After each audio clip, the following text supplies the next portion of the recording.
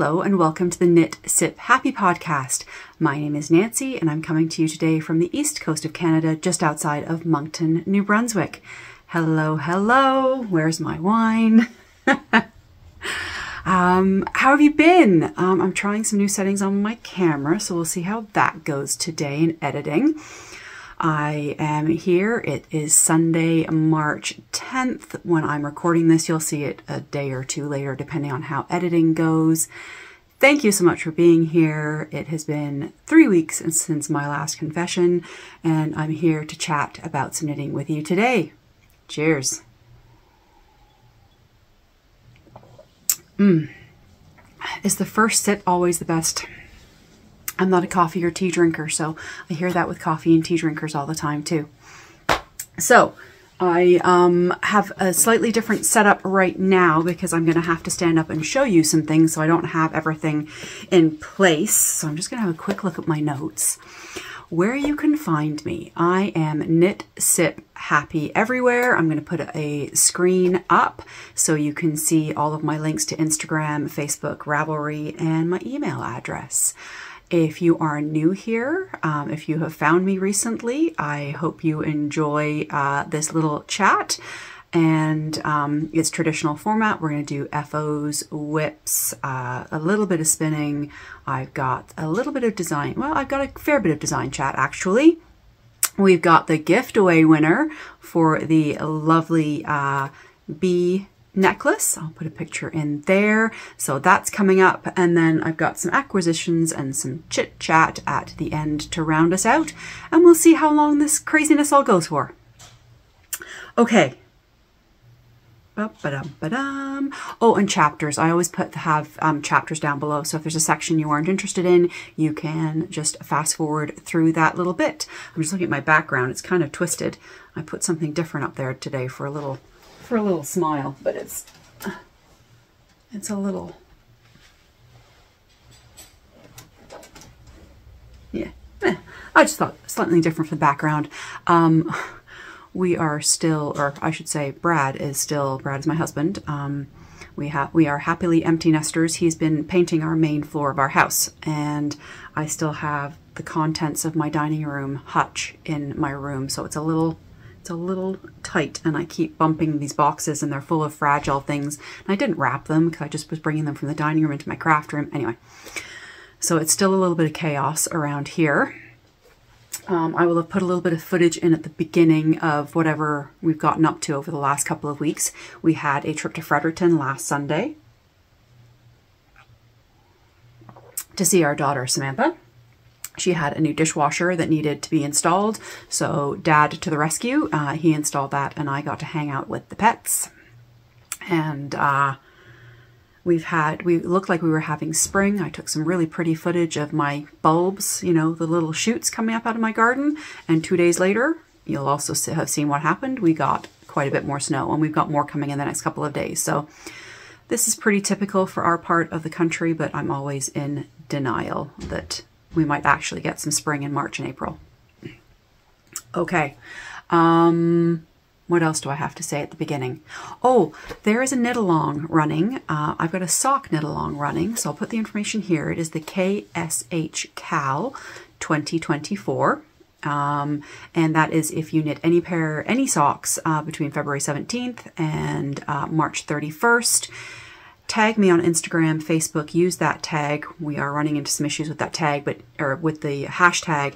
But if you put my um, at knitsiphappy and tag me in it or mention me in your post, I will see it automatically and you'll be entered for the draw. If you're not on any of those social media channels, feel free to email me at the uh, email on the screen, nancy at knitsiphappy.com. I've had a few emails for that already, which is fantastic. I want to try and be as inclusive as, as, as possible with our love of socks. And don't forget, you get two entries if you use one of my sock patterns. You get to, and feel free to double dip. There's a lot of people doing Denise Earth Tones Girls, her book, uh, her sock book, Cal, I can't remember the hashtag. Um, double dip, triple dip, you know, polygamy, polyg, polygodip making up words here, um, feel free to uh, put your socks that you're knitting for my cow into any of the other ones that it would apply for. Okay. we are going to move on to what I'm wearing and it's the first FO. So I'm just going to stand up and give you a little tour and I forgot to bring my tablet in for my notes. So I'm going to have to try and remember that or I may have to go and get that. So I'm looking at myself in the screen and not the camera. I'm going to have a little sip before I stand up and give you a tour. So this is my Wilfreda sweater by uh, Venka Rold. I think is how it's pronounced. Um, I'm shamelessly copying uh, Kelly and Noelle from uh, the Knit Chat Cafe and my lovely friend Sophie from Cozy Meadow Knits. They have all knit this pattern. And I had this beautiful yarn. There it is. From Amanda at Sweet Skein of Mine. I held two skeins together. Um, I had this much left of the fingering. So I've held a fingering weight with this raspberry jam mohair. If you were here last time, you'll have been able to see the yarn a little bit better because this is all I have left. I do have quite a bit of mohair left. The yardage on the skeins was quite a bit different. So I do have a nice little bit of mohair that I'll be able to put into a cowl, a hat, some coastal drift mittens perhaps from La Violette Knits. There's opportunities here. So this was the yarn that I used to knit my Wilfreda. So I'm going to stand up and give you, and have to move the camera probably or my chair and just give you a little tour.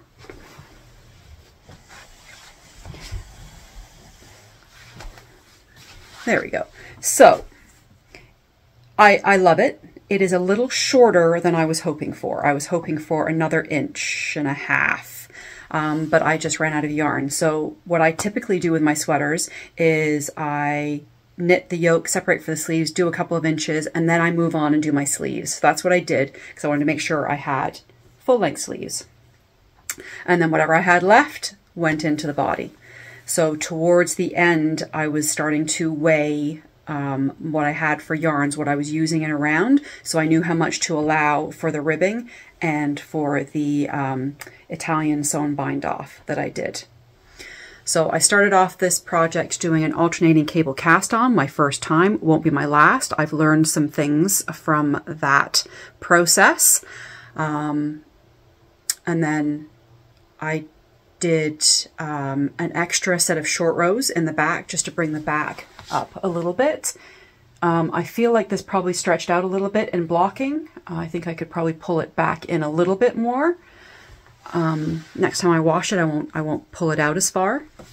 But it's got this beautiful texture and then cable lace kind of yoke pattern that's really addictive and quite fun. And just working with this yarn was just so fun. The pops and the speckles in the fingering weight yarn, just loved it.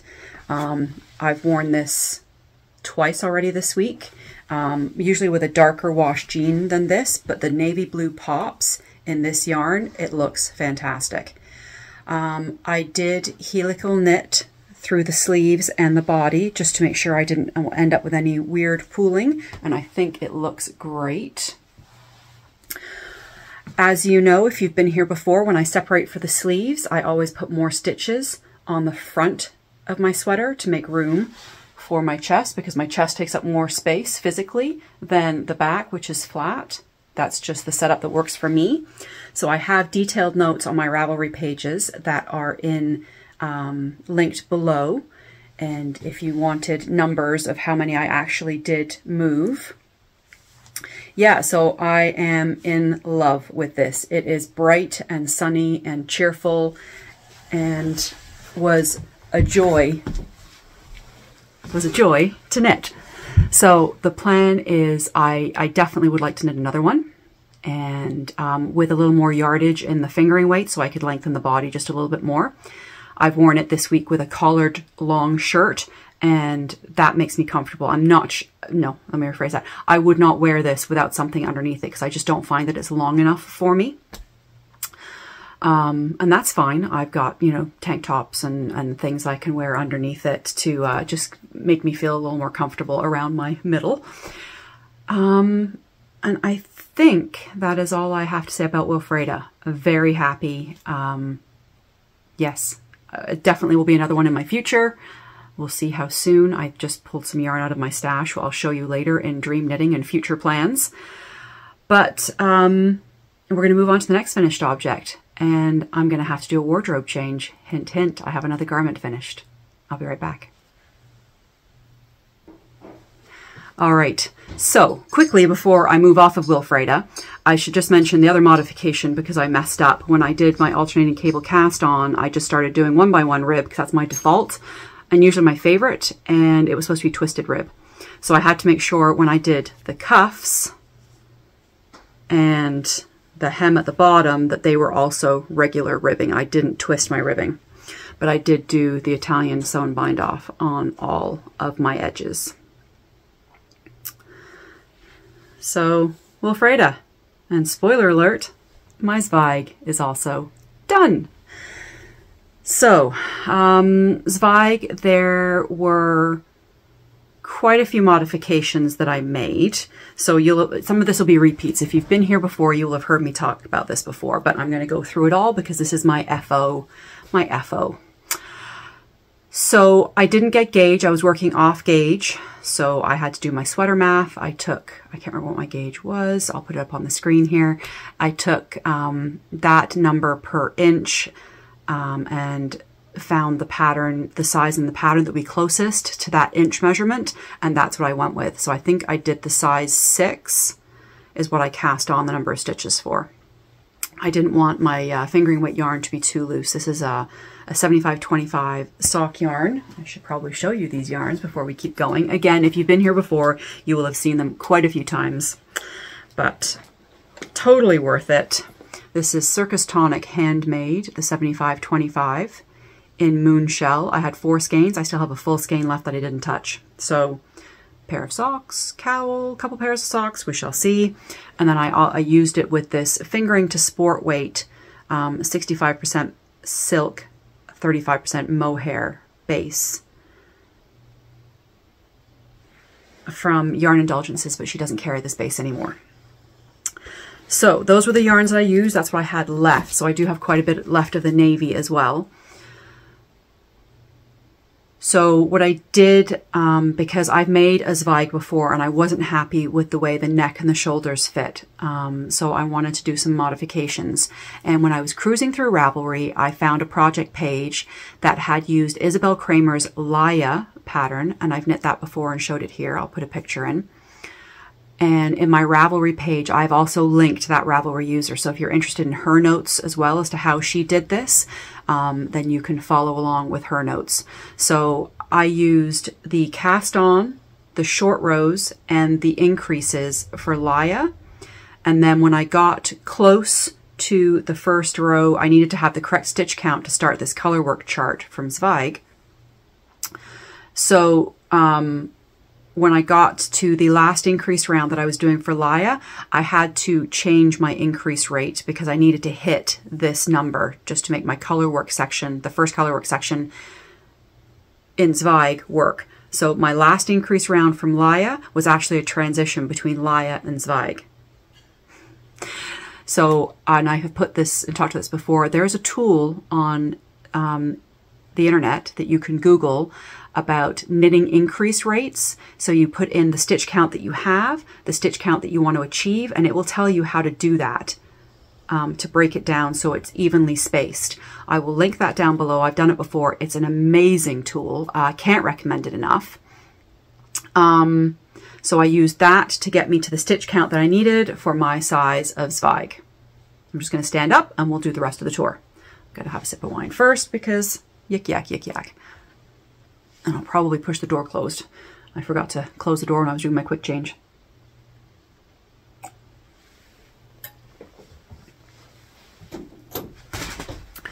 Okay. Get this chair out of the way.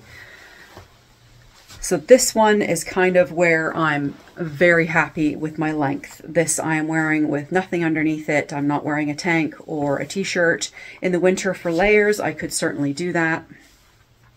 Um, yeah, I'm thrilled this, I've worn this a whole bunch. This has been finished almost two weeks and I've worn it quite a few times. Um, the first time that I blocked it, I stretched it too much and it was, it was, the sleeves were down past my fingertips and the body was in the, in the frumpy zone for me. So I, I gave it a quick spritz with some water and I put it in the dryer for five minutes and checked it. It was still a little damp. So I gave it another five minutes on a low heat. Um, I don't recommend doing this and walking away from it. You need to keep an eye on it because I didn't want it to uh, felt or come up too much. But this I'm very, very happy with.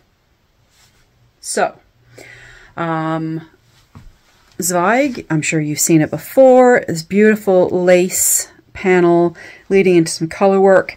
And then you do these little one over one cables every so many rows. Some people skip them altogether. They do slow your knitting down, but that's not a bad thing for me because stockinette sometimes can bore me to tears.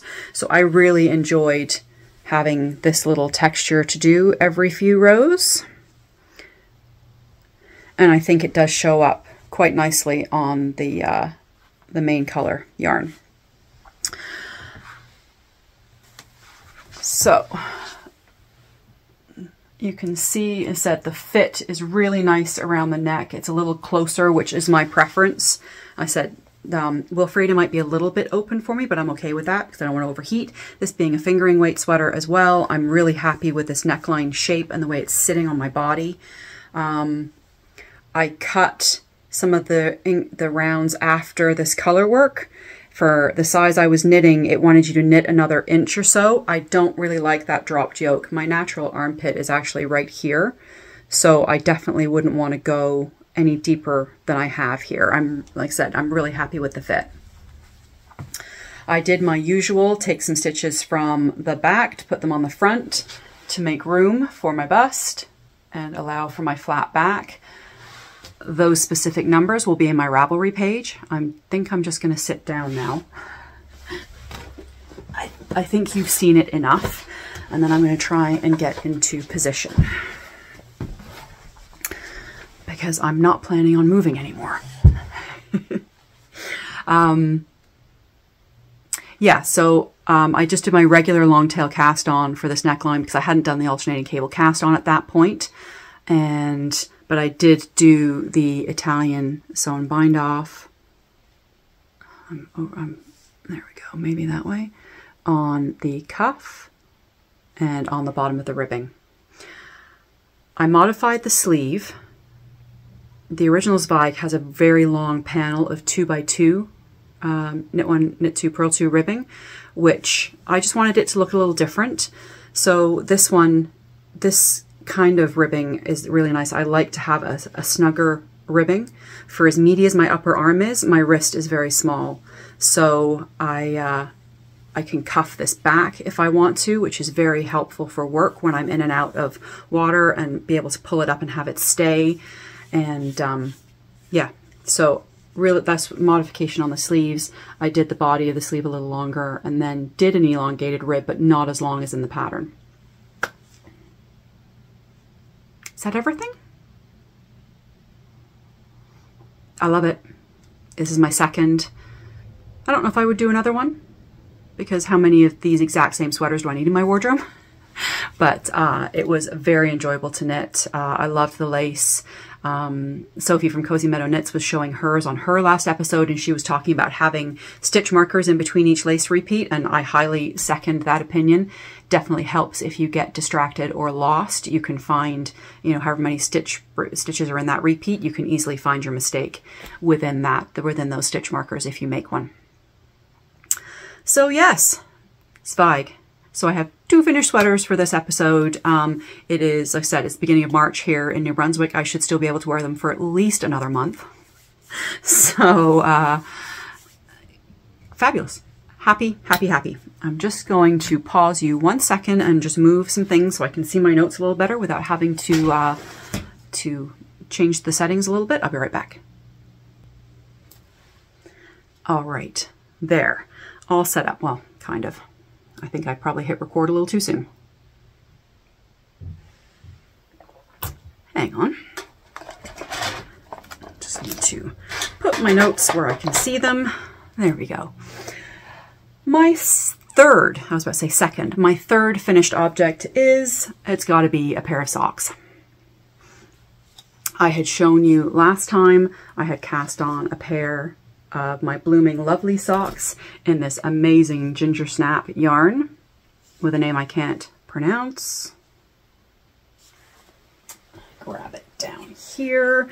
This was in my beautiful Studio Brita bag that I always love to talk about. Britta is a very talented maker in Alberta, Canada, and she, uh, you know, does these beautiful free motion embroidery quilted bags, and you can get them customized if you like. She will customize your colors, um, but she also does really nice um, bags just in her store with cute little crochet designs on them. Um, she appliques knitting and crochet onto the front of the bags as well. Lovely. Love her bags. Heather, my friend in St. John from Wheelhouse Knits, just bought a new one and I'm, I'm feeling very envious, but I'm resisting. So the yarn I used for this is, whoop, there we go, Ginger Snap for out in Alberta as well. This is Dust Fingering in the Weather colorway, so 7525. I didn't weigh this, but I would wager I've got about 36 to 40 grams or so there. So that will be either go into um, mini swaps or I can make a pair of shorties with some contrast. So that is that. Get rid of that bag. Yeah, so this is my Blooming Lovely sock pattern that I did for Knit City uh, Montreal last year and I had not I had only knit this pattern once when I knit the sample uh, last year. This time last year, my memories uh, on my Google Photos showed me that I was knitting this this time last year, and um, yeah, that was that's that's always nice. It's the favorite part about the social media is when they show you memories of things from the past and you can think about them. But I'll just show you this. We've got this really pretty flower panel up the front that runs all the way down the front of the foot and then some broken rib down the side to give it some sucky inness, some pull to make it not too gappy. Sometimes lace can be a little too stretched out.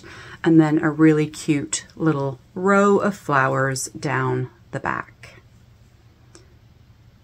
So this is my perfect recipe of vanilla with a little bit of things happening every couple of rounds and easy to follow.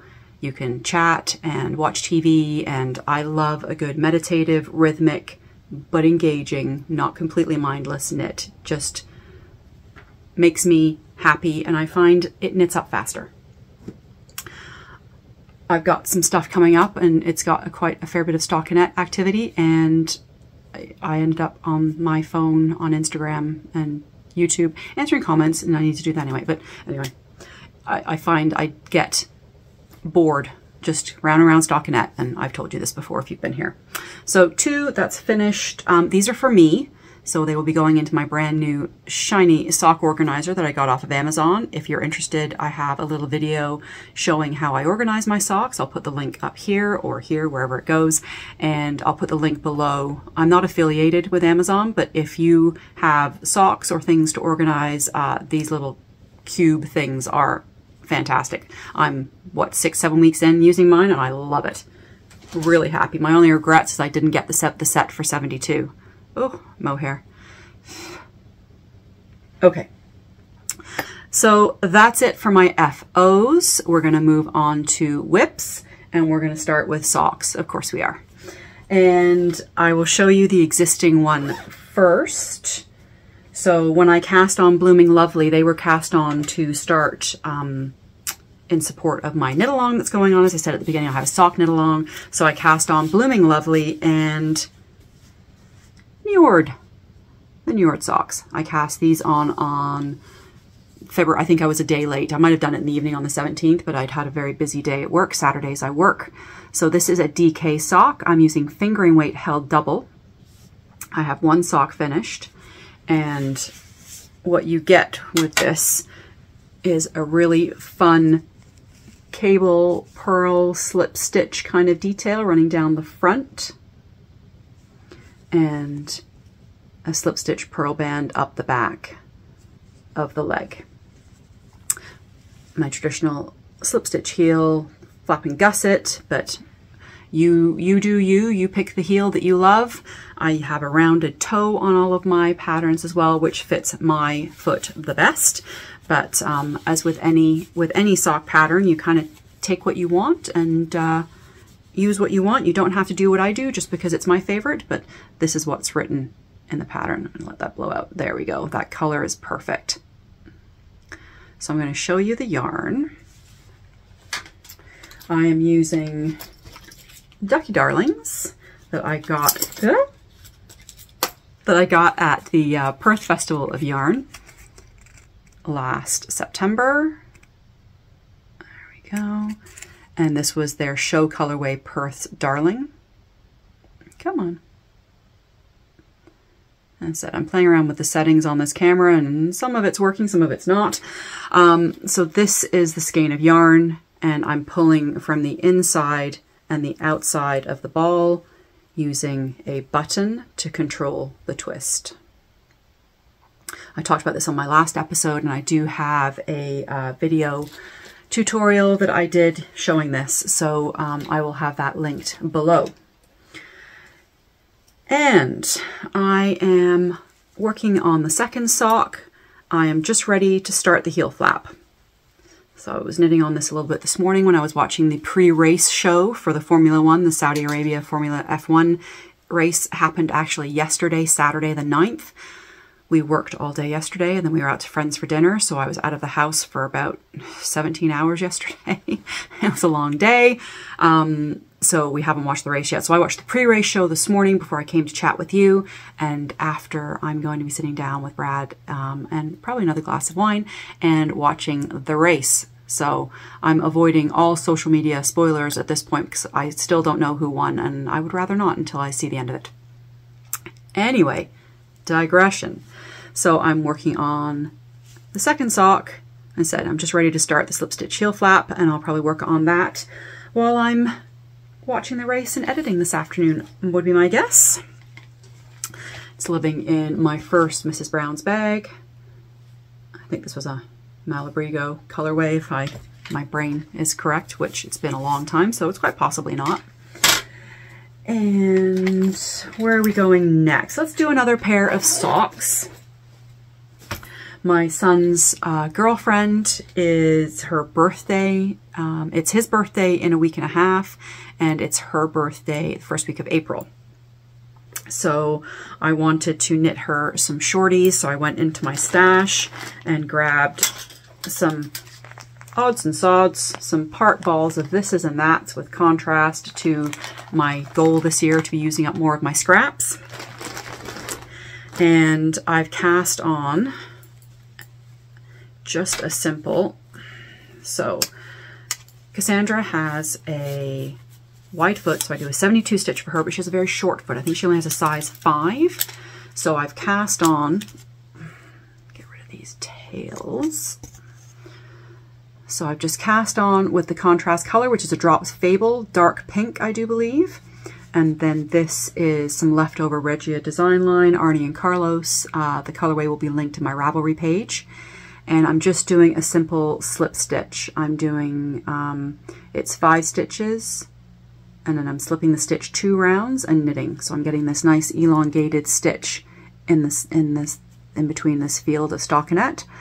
So 72 stitches, I was just looking for something that was divisible into that. I find eight can be too wide, so six works. So it's basically slip one, knit five, slip one, knit five around, slip one, knit five, slip one, knit five, all the way around. And the uh, third round, you just knit all of the stitches.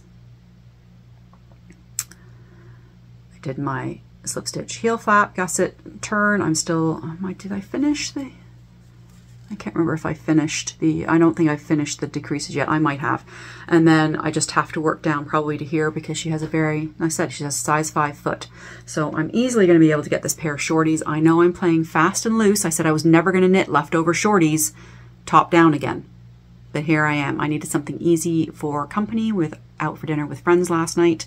And I didn't want to have to faff around with a heel that I wasn't familiar with. So I've gone, I said, I'm living on the edge. I know this was 36 grams. I'll do a little bit more on the foot and weigh, and if I'm getting too close to 18, I'll start striping in with the hot pink. And uh, we'll get it done that way. But I figured I'd do her a couple pair of shorties for her birthday. So this is the first pair. The second pair is going to be with some leftover Felici. I knit myself or my daughter. I think I might have knit, I can't remember. This is a very old Felici. They bring it back occasionally. This is uh, Time Traveler. So it's a Doctor Who colorway. But I knew I would have enough. I have two part balls. Felici comes in 50 gram balls. I've got two part balls in here and I just pulled this um, agate heather Knit Picks stroll out of my stash because it pulls out the tan in the uh, sock yarn. So I'll do, like I said, two down and dirty quick um, shorties for her.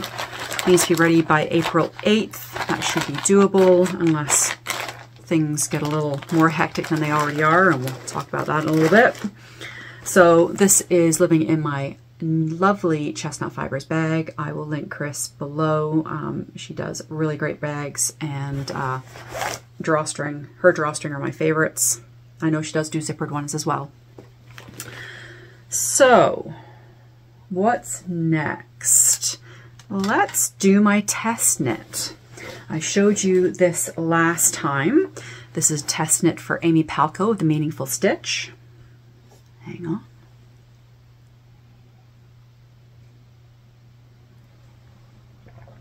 Mm. And it's a three color cowl. And I am using, these are my three colors.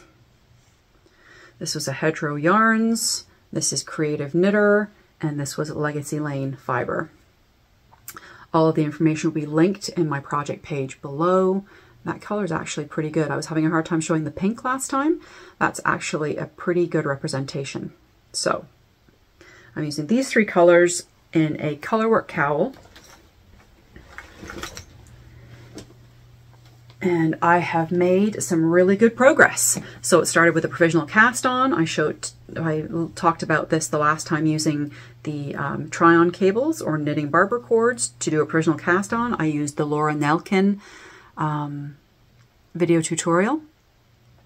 And a couple days after I posted my video, I was watching my friend Leanne, and she had also done the same technique because she's also test knitting this cowl in beautiful neutral colors, where mine is quite vibrant. Uh, Leanne has done hers in beautiful, neutral, natural yarn colors. So if you're, I'm sure you're all watching Leanne of the Knitty Stew, um, but uh, always has amazing projects and shows us beautiful parts of mostly Canada, which I love to see. Cowl let's get back to this. This is called Thegither Cowl. It's going to be launching at the Scottish um, Yarn Shows show. I think it's a Scottish Wool Producers, March 23rd. So today's the 10th. I still have less than two weeks to get this done, and I'm good. I'm on track. So this first section has the pink as the main color, and then the light blue and the teal as the contrast colors. And then we shift we shift into the darker teal color being the main color with the contrast being the light blue and the pink. And then we shift again and we are the light blue colors with the teal and the pink. So this is going to be a long, it gets twisted, it's going to get provisionally, it's going sorry, it's going to get grafted at the end with a couple of twists in it. So when you wear it, you'll be able to see all of the facets of this with the colors showing and I I can't wait. This is mine, mine, mine, mine. It's so soft and squishy, and I love the colors. Um, you know, I love my brighter, vibrant colors. I'm not a neutral fan. Um, so this is making me very happy. It's a very addictive knit, quite easy to read your knitting as you go. I don't look at the pattern very often. Um, I have to every now and again just for this little this little change here, this third section. Sometimes I, I get confused in here, but it's a quick refer to the chart and off I go again. So next time you see this, the pattern will all be already be released. So I'll be sharing pictures on Instagram and uh, and Facebook. So keep an eye out for that. Yeah. I'm knitting this on a 16 inch circular my ChiaoGoo interchangeable twist set. And it's just perfect round and round. Lovely. Lovely, lovely. That's, it. I'm having Mrs. Brown's bag day. This is in my, one of my newer ones, the, the bigger canvas Mrs. Brown bag. And then I had a very cheeky cast on. After I finished these two sweaters, I had, after I finished, I finished this one first. I finished the bag first. And I knew Wilfreda was going to be finished pretty quickly. So I started swatching with some yarn that I wanted to use. Uh, we had Knit Night middle of February last month and my friend Rochelle was doing a test knit. I can't remember what the garment is. She was doing a test knit in a yarn that we had both bought together from Knit Picks and mine was still sitting in stash and I, I was, it was so nice. The fabric was really lovely. And I thought, yeah, I want to knit with that next. So I pulled it out of my stash and swatched. I should grab the yarn and the swatch. So the yarn I'm talking about is from Knit Picks. It is their Upcycle, come on, there we go, Upcycle Alpaca Blend Sport Weight uh, in the colorway Olive. So it is 273 yards for 100 grams. So I'm actually knitting this at a DK gauge. And I will show you my swatch. Oh, hang on one second. So the yarn, we were it's 33% alpaca, 34% wool, and 33% acrylic. And there's some kind of recycling, reusable it's upcycled. So they've they've upcycled fibers from I can't remember where. Um, I know they did still have some stuff on their website. It was on sale um, on their website a couple of weeks ago. So we've done a cheeky order. Rochelle, uh, Sophie, Cozy Meadow and I have done another order to get the free shipping. And I've got another sweater quantity of this arriving because I was enjoying the knit so much. So that's the yarn. This is the swatch. So it, um, uh, it required a knit in the flat portion plus a knit in the round. So I started with knitting flat, so I knit back and forth on this section. This purl bump line shows where I switched to in the round because I wanted to make sure my gauge was the same for both, and it was. And I blocked this, and it is beautiful. It is so soft. Not a hint of alpaca prickle. There is a little bit, you can see there, it's a little bit fluffy. There is definitely alpaca, but it's not the, the, the rough guard hairs. It's very, very soft. Um, and not something I really have much in my wardrobe. So um, I am knitting the Ginger Snap by Libby at Truly Myrtle. I'll put some pictures in here. I've wanted to knit it for quite a while. She had a gingerbread um, that was the original uh, garment in this series and it had a wider boat neck, which is not my jam. She released Ginger Snap, I believe, two years ago with a more closed-in neckline, and I was like, yes, please. So I've always wanted to knit that because I do love Libby's patterns. I love the way they fit. Um, my coworker and friend Amanda, who has started knitting in the last year, um, is knitting one, and I was helping her um, with some, you know, there's some, there were some new techniques in in the pattern. So uh, we've had some knitting sessions together, and I saw hers with the beautiful rib detail that we'll have seen, and I was like, I think that's what I want to knit with that yarn. So that's what I've done. As I said, it's only March. I was thinking it's a DK gauge. I should be able to get this sucker finished and still be able to wear it before the weather turns. if I was sensible, I should have picked up my Isabell Kraemer, the name escapes me, picture name. I have an Isabell Kraemer that I hibernated last year because it's knit in Coast, Holst Coast held single. So it's very fine and lightweight and drapey and airy, but and I hibernated it because I was coming into winter and I knew I wasn't gonna be able to wear it anyway. So I should have probably picked that one up and started knitting on it, but I wasn't feeling it. It's still cold and chilly and damp and yuck most days here. So I was feeling the need for some squishy. So let me show you where I'm at.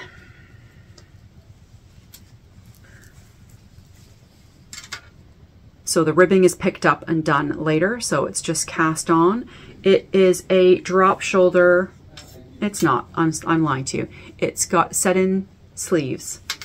So you're knitting a sleeve cap, short row sleeve cap here.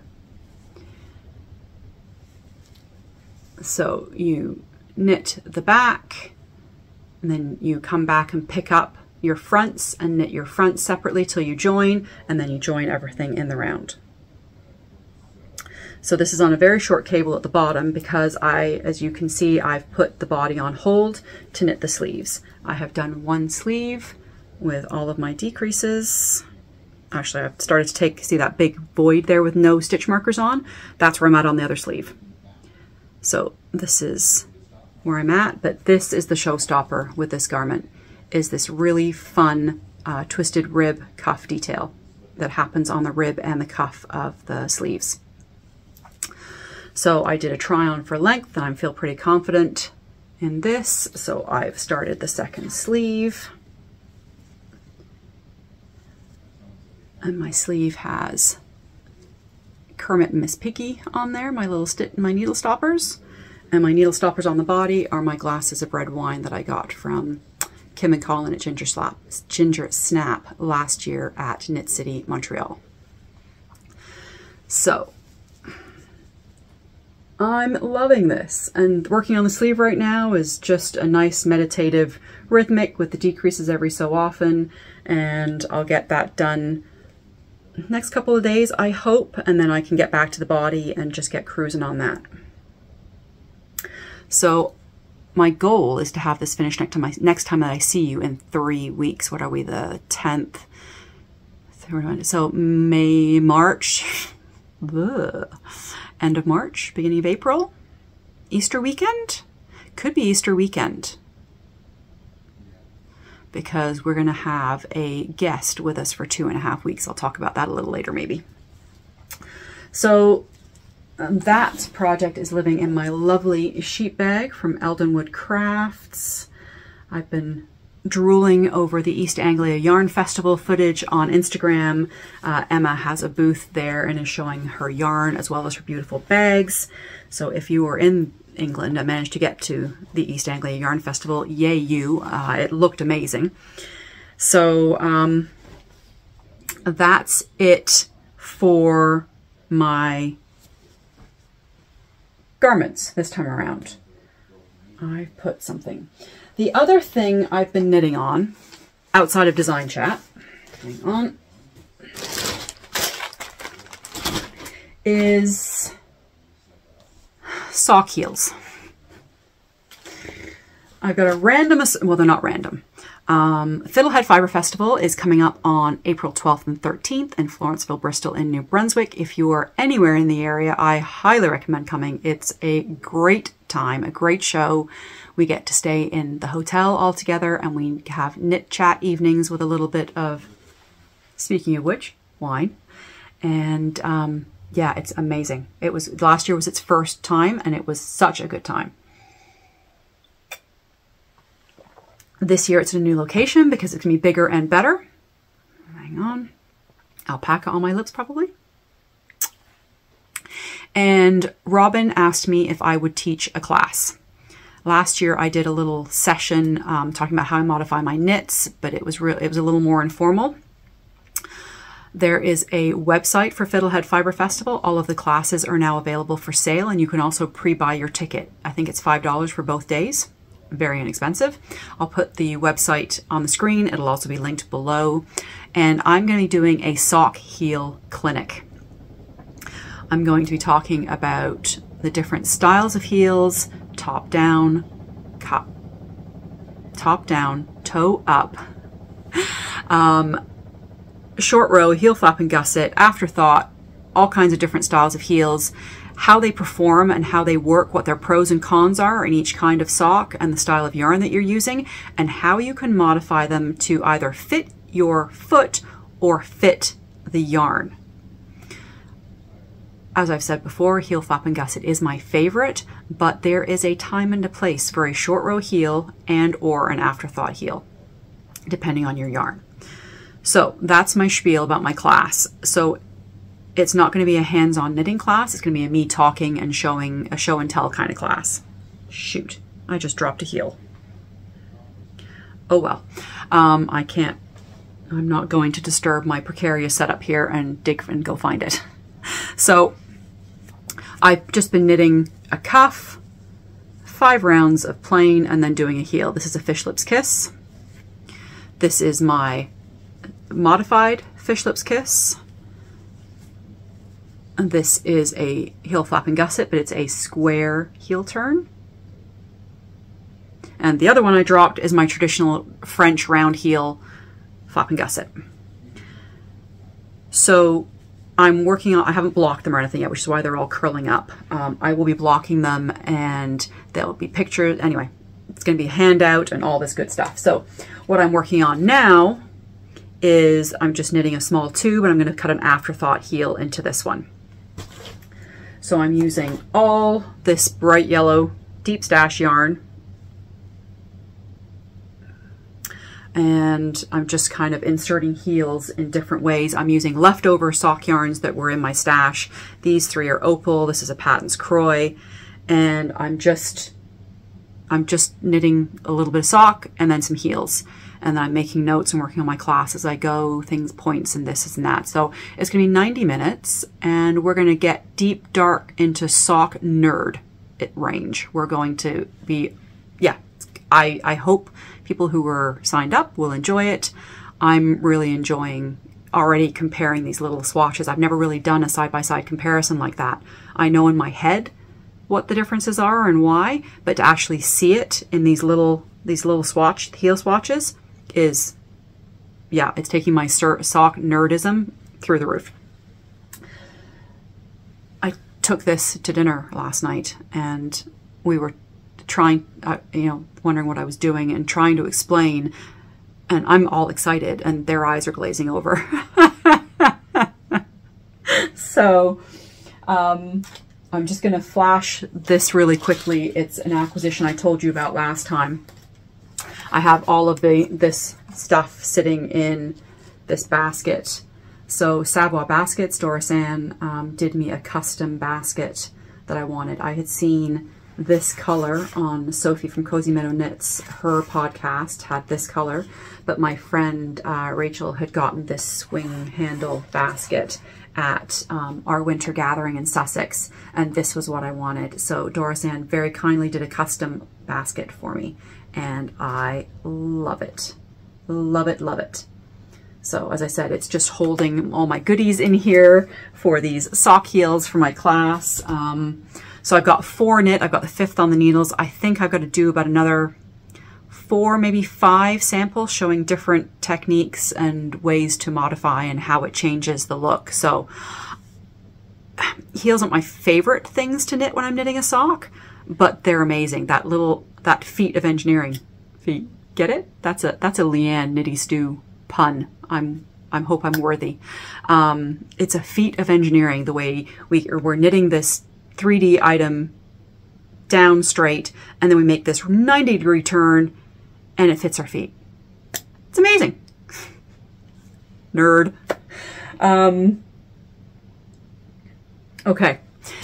Another quick thing I want to show you. Um, I had a bag full of scraps from swaps. So these are scraps that were under 10 grams. So as I've been making minis for swaps or and or my advent calendar, anything that was under 10 grams, I just shoved in this Ziploc bag. And I was going to make a magic knot ball. And Heather from Wheelhouse Knits showed something on Instagram. She showed her husband making her magic knot ball, and I thought, genius. So I asked Brad very kindly if he would take this bag of scraps. I showed him how to do the magic knot and just put, put together whatever he wanted. Whatever he wanted. He, this is dense, man. He's, he's wound it really tight. it probably weighs almost a pound. So when he's been bored of being on his phone on TikTok, he's been making this magic knot ball for him. And now I'm trying to figure out what other scraps I've had, I have, or kicking around for him to make me another one. Um, But this will go into a blanket project of some sort.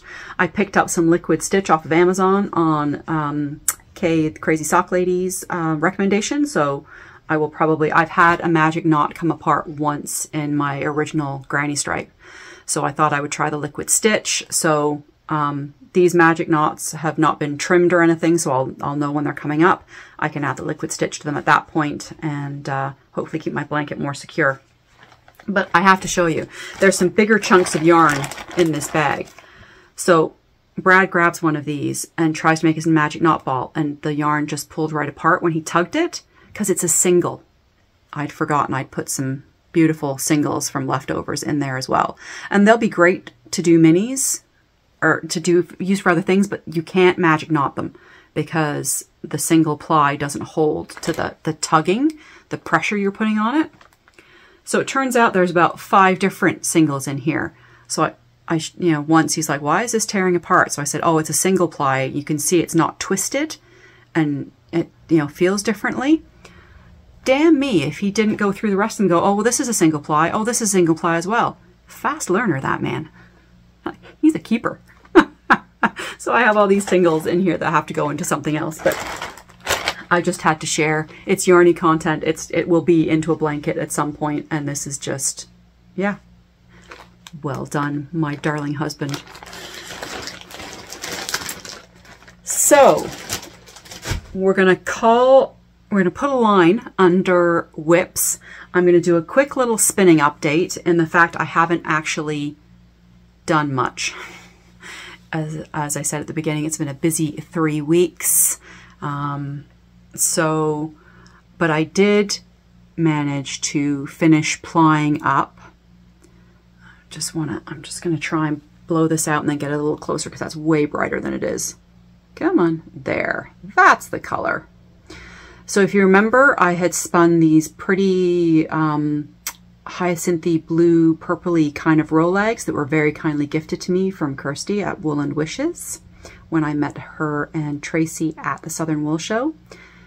So I spun up a hot pink sing, um, single to ply with it. I've just two plied and really pretty. It's not my most even spin. I found the Rolags. I find Rolags difficult I'm not a long draw spinner, so I find the Rolags can be a little difficult, difficult to control the, th the thickness. So I have plied and I have washed this, but I haven't weighed and measured it yet. So I will weigh and measure it at some point and tuck it in my stash, but you will not see this again until I knit with it. So that's a short and sweet spinning. Um, I have not started this project we were talking about last time. It's still sitting here. I just haven't had the time to devote to any spinning this, this time around.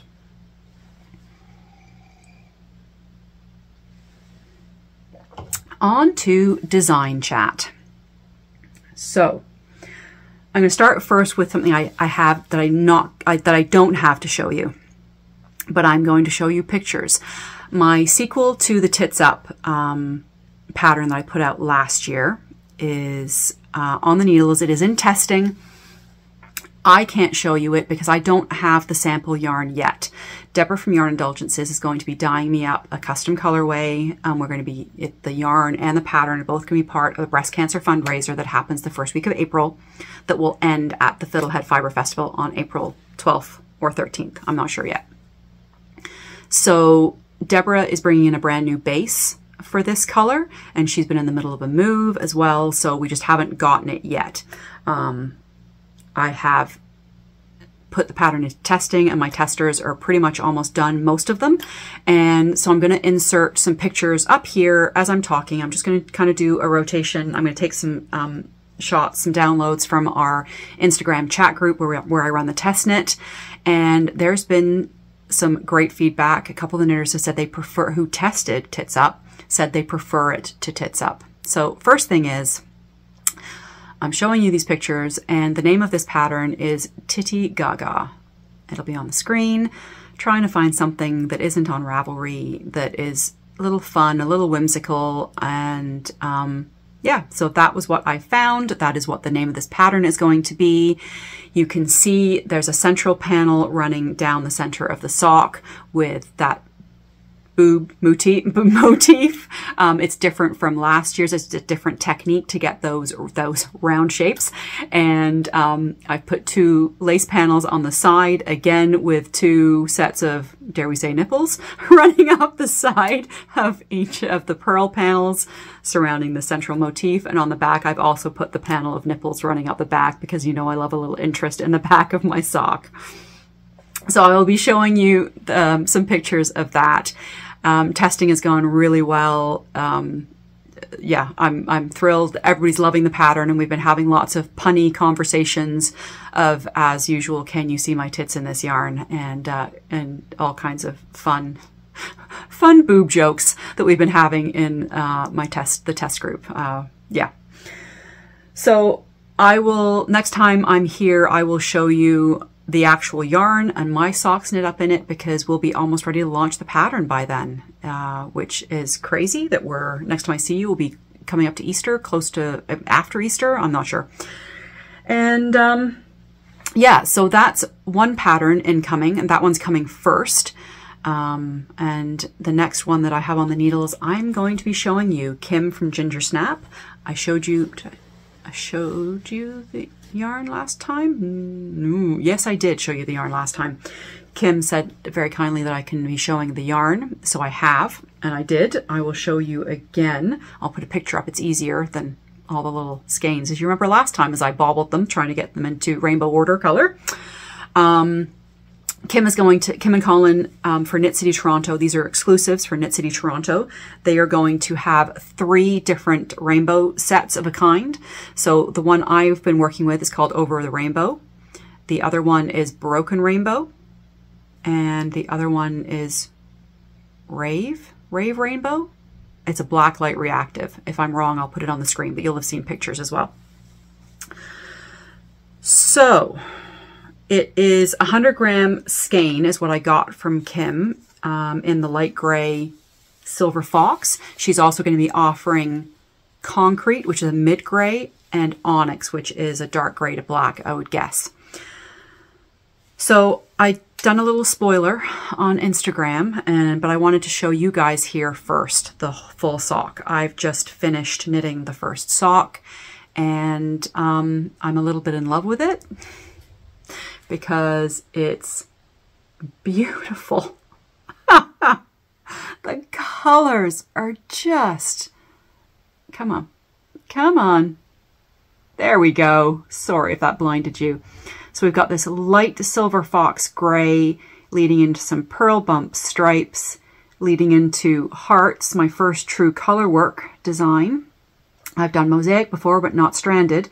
These hearts are stranded color work in the six colors and then another round of the purl stripes heading into some wider stripes to finish off the foot because we had to use, I was thinking of doing the foot, the plain gray, but I still had so much left of the colors and they're just so, so joyful. So we've got some thicker stripes happening there. It is my traditional heel flap and gusset with my rounded toe. It is worked cuff down and it will be launching at Knit City Toronto. So I keep looking in the screen because I, I just, I flip and love it. so there are obviously, um, there is obviously a seam kind of happening on the other side. I'm showing you the other side um, where your color rounds join. I wove in the ends as I went on the purl stripes. I found that quite easy. I couldn't do it on the hearts. It was messing with my tension. So there are ends that have to be woven in separately here, unless you're better at keeping color work tension than I am, doing the Stephen West Weave and Stephen method, which is what I usually use. And then, like I said, we've got this seam, but on the thicker stripes on the bottom, I did do a jogless join, which I think was pretty effective for the most part. You can see I've got an, an elongated, larger gray stitch there but it's definitely a smoother join than I would have gotten otherwise. But what I will do for the second sock is I will just rotate the heel. This was put um, on whatever side you either put, back up. So when I have designs like this that have a seam, I want that seam to be on the inside of the leg. So I want the, the other seam to be here on the inside of the, of the leg, on the other leg. So I will add the heel on the back like I normally would. And on the second stock, I will add the heel, the heel on the front of the foot. So that just brings that seam. So I don't have the seam on an outer edge and an inner edge. It will both be on the inner edge or both on the outer edge, depending on how you put your sock on. But yeah, so this is, this is the perfect side without the magic loop or the, the round join. I worked these on nine inch circulars. Did my usual 2.25 for the uh, ribbing and the stockinette and the stripes. When I got into the color work, I came up to a 2.5 millimeter needle. You will have to figure out your own gauge. I've got good stretch in there, so I'm very happy with the tension. So that's easily going over my heel. I've tried it on. I got good stretch there with my 2.5 but I do find a 9 inch circular does work really well for me in the round because I don't have the magic loop um, laddering that happens, especially with color work. But double it'll work on double points, two 16 inch circulars, however you like knitting your needles, this will work. As with all of my patterns, this will be written needle neutral, so you can adjust it to be any, you, there's no needle one, two, three, four. I just write it for any needle. I don't specify. Isn't it glorious? So that's it for design chat today. I, I don't have anything coming out for you for uh, until April, but I did want to show you this design. I have a name in my head. I'm not sure if that's what I'm going with yet. I'm going to hold off on talking about that yet to see, just to see. Take this off the blocker, put it back in the bag. So I'm going to be knit working on Tuesday. I have the day off of my day job. I'm going to be writing up this pattern because as soon as the Tittygaga socks finish testing, this will be going into testing. As I said last time, I have some testers who've knit all, if not all, most of my patterns and um, I don't want to ruin that record. So I'm, I'm trying to do the test knits back to back, not overlapping. All right. Notes, notes, notes, notes. Let's do the giveaway. All right, if you were here last time, I had a 4K gift away, is what we're calling it when we're typing it, because we don't want any spam bots. And good news, folks, we had none. We had no, no intruders into our lovely group causing chaos. It is for a knit stitch necklace from Jeanette Walker. I showed you a picture. I'm wearing mine on, I'm wearing mine little fishy one that I got at um, PEI Fiber Festival. And I just got my new chain, my longer chain. Um, Jeanette very kindly, she was supposed to be coming to Sussex, couldn't make it because she was ill, very kindly popped this beautiful longer chain for me in the mail. And I got it last week, I do believe. Perhaps the week before. Time is blurring. So I have in a little bag with a full description from Jeanette and a little gift bag that we'll be going with. I did the draw this morning. I did a random comment picker on YouTube.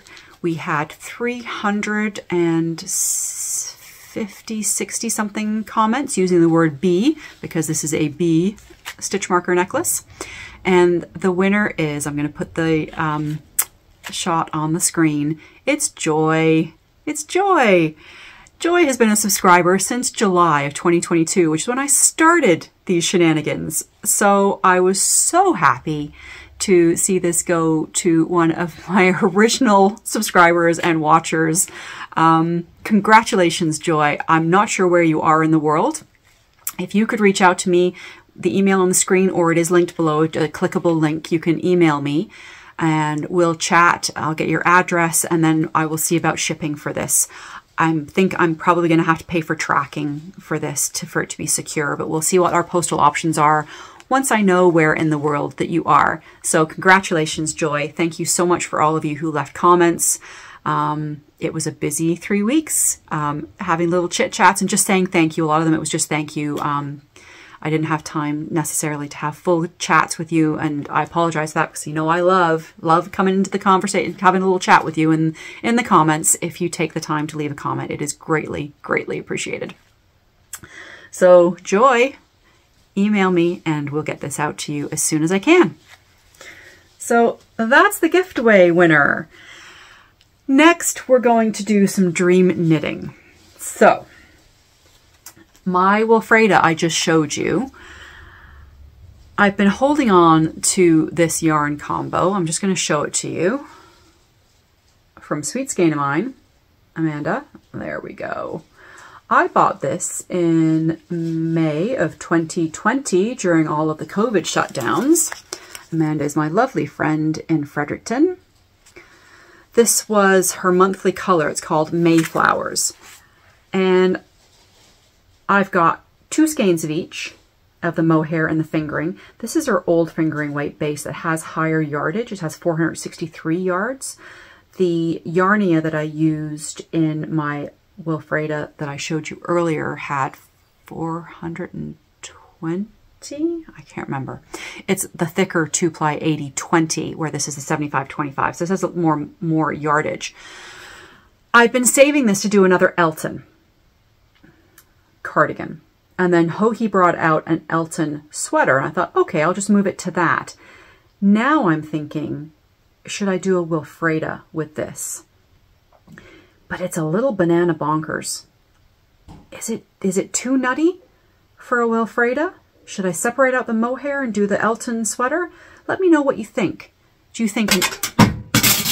Oh, I'm so sorry. That was a sock blocker that just jumped off my little stand here. What do we think?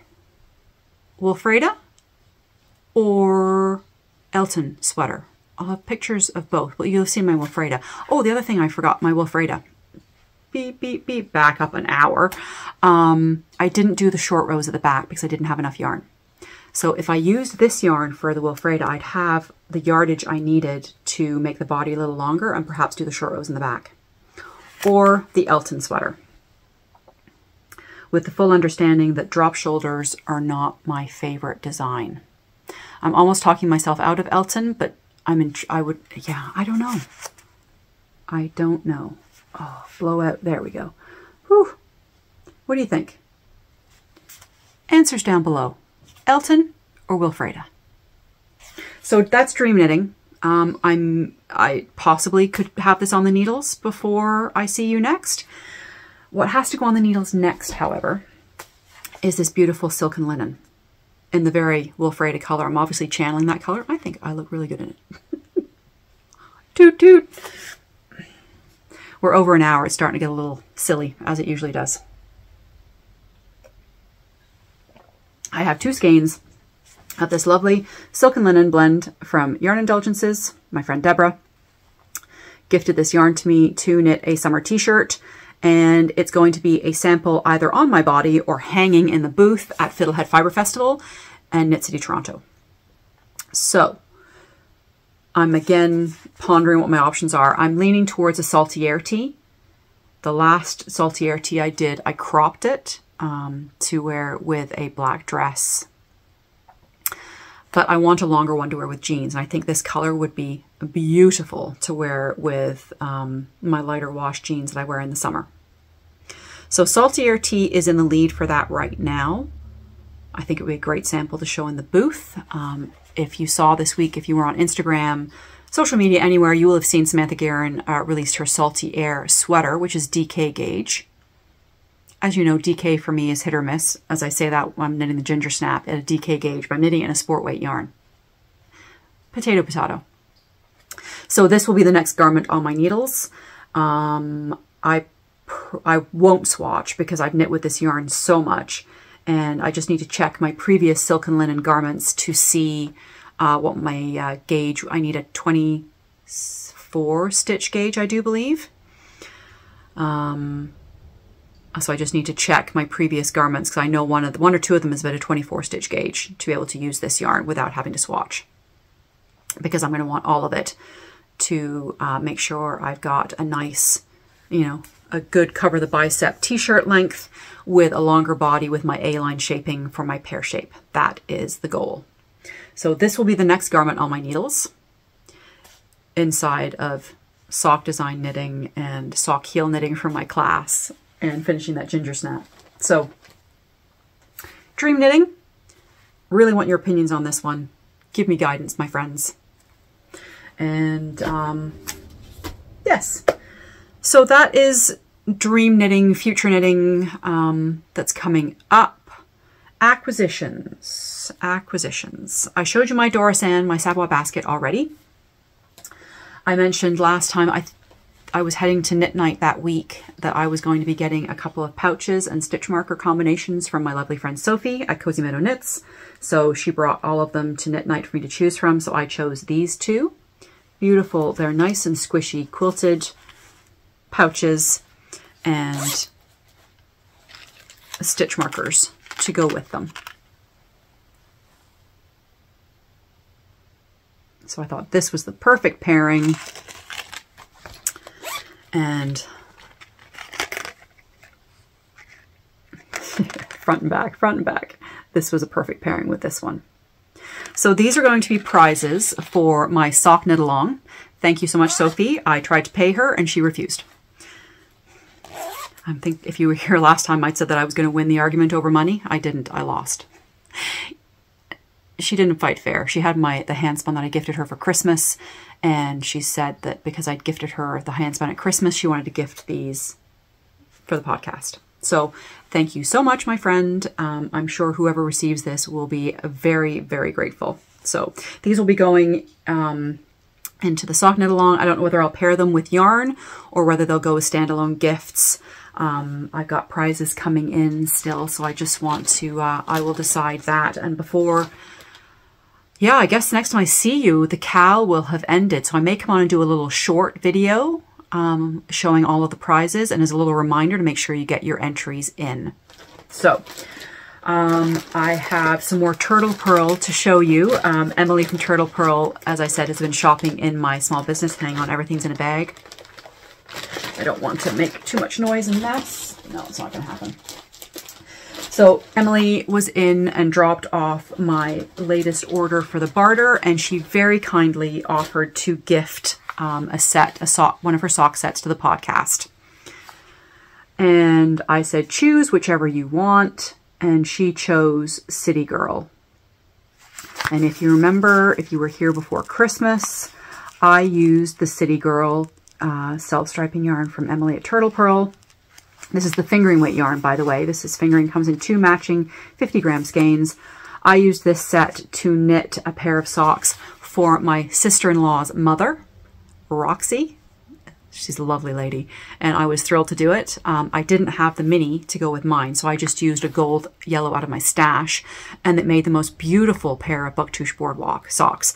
So whoever wins this sock set, I will gift you a pair. Uh, I will gift you the pattern of the Bouctouche Boardwalk socks. So you can, we can, you can, you can have matching socks to Roxy and me because I've got enough left. I'm going to be knitting me a pair of Bouctouche Boardwalk socks in this because I loved the combination so much. So this was a very kind gift from Emily at Turtle Purl to the podcast to use for a prize for the knit along. Thank you so much, Emily. And then I ordered this one for you guys. This is called Om with the green mini. I'll show you the back. It's the fingering weight set again, and it's this beautiful rainbow stripe, but not striped rainbow. It's kind of coming in and out in thicker and thinner stripes.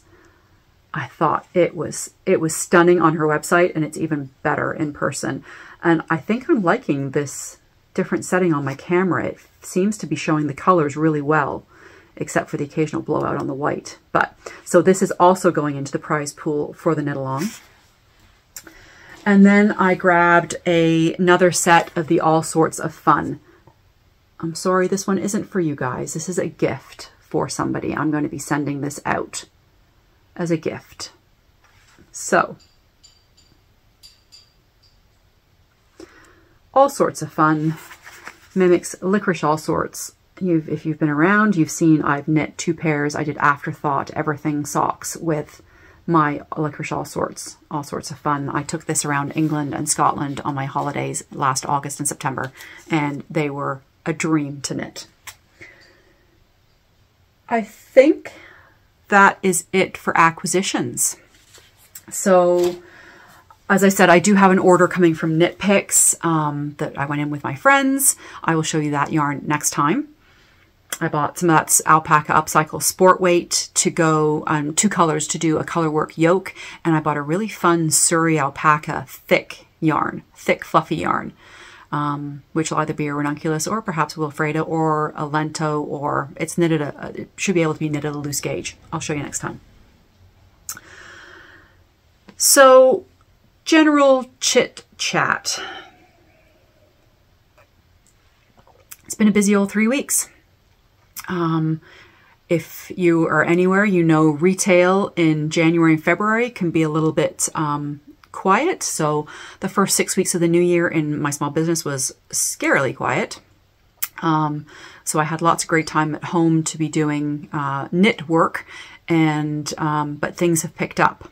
Uh, it's gotten quite busy, so I'm working extra more hours than I normally do, which is fine, but it does mean I have a little less time for the knit work that needs to be accomplished right now as well. So plus a bit of the chaos from the painting that's being done. Brad's doing it in small chunks, so my dining room still is full of uh, paint trays, paint cans, brushes, rollers, drop cloths is what my dining room consists of, which is why I still have all of the my dining room fragile things are in my craft room. So it's a bit chaotic around the house, um, bit chaotic at work, but great. Happy to see everybody back, looking for to make their wines for the uh, summer, spring summer season coming up. I started the wines for Samantha's wedding this week, so that was exciting as well. Uh, we drove to Fredericton, I mentioned earlier, on Sunday morning. We got up early. It's about two hours, an hour and 45 minutes to her house, so we, we got up and out early and got to her house. Um, it was pouring rain all day. So the dog and the cat, which I was looking after while they were putting the dishwasher in, were wet and gross. and the cat, Oscar, is such a little bugger. He he kind of puts himself on my lap and he's still got his claws. So then he's kneading me with his claws. So I'm picking claws up out of my leg and then he turns around and gives me this look going, I'll fix you, lady. Puts his paw in the loop of my magic loop sock needle that I was knitting on and pulls it. You little bleep bleep. So I had to put my sock away. And then Archie was just full of shenanigans. We are actually going to be keeping Archie for two and a half weeks. Uh, Samantha is going to Europe to meet up with Rob. Rob is in Latvia right now, deployed with the Canadian military. He has got two weeks of leave. They are meeting up in Greece and they're going to have a lovely time. But we have Archie for two and a half weeks. So Easter weekend, there's going to be nothing happening other than puppy sitting because, well, he's not a puppy. He's three, but he still acts like a puppy. So that's going to be busy. I think him and Brad are to be best buds because I'm going to be busy, busy and off to work. And, you know, Brad works from home quite a bit. So.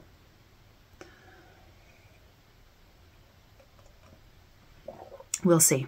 We've had snow again. We've got more coming tomorrow and Tuesday. And my daffodils were up out of the ground. And I'm sure they got a, a shock as they were freezing rained and then snowed on. But